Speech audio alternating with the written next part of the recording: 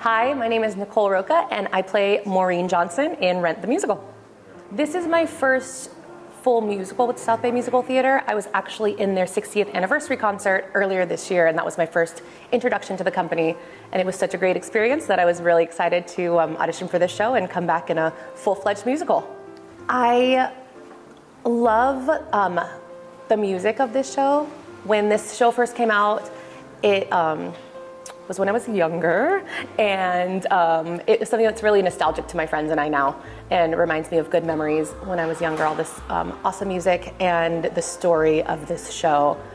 I feel like it's a very important story to tell, especially in this um, day and age, and so I'm really excited to be a part of bringing that to this community here. I'm very excited to play Maureen. She's fun, spunky, confident, a little bit dramatic. It's um, a lot of fun things to kind of roll into one. And I took a lot of inspiration from strong women that I know in my life and um, from different art, musical artists and celebrities that I know that are a bit quirky but confident and really have stand up for a cause that they believe in, which I feel like Maureen does throughout this production.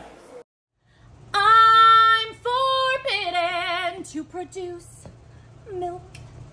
In Cyberland, we only drink Diet Coke. One of my favorite songs to perform with everybody is La Vie Boheme, our Act One finale, because it's so fun. The whole cast gets to be on stage together, partying and um, dancing around. My favorite song to sing is Take Me or Leave Me, because it's like a dream song for someone who likes to belt it out to sing. Um, it's a go to karaoke song for a lot of people, so I'm really excited to sing that on stage. There were quite a lot of um, cultural references that we. Um, many of us in the cast have been singing along to this song a lot and didn't really know the references. So we do have. Um, a lot of us have done re- research. We had our producer Walter did a whole big page for us with all of those references, so we can understand what we're singing about, and um, it kind of makes it be a little more authentic for us.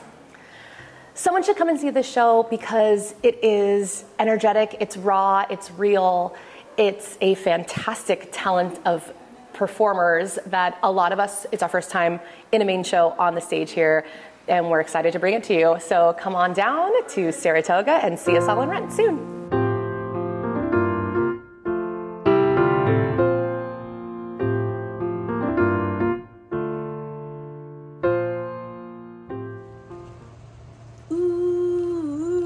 only thing to do is jump over the moon.